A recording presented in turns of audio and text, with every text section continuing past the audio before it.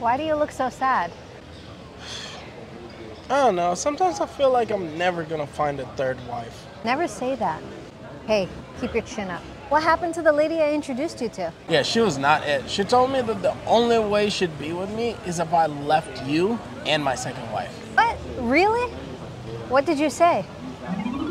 Why do you want to be my third wife? A third wife? Yeah.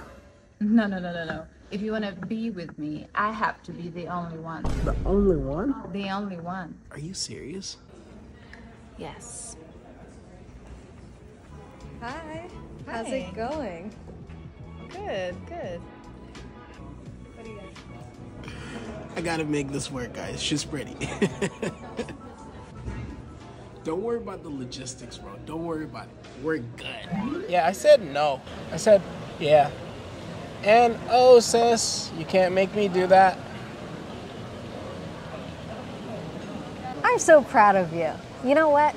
Don't fret. I have someone that I know will be perfect for you.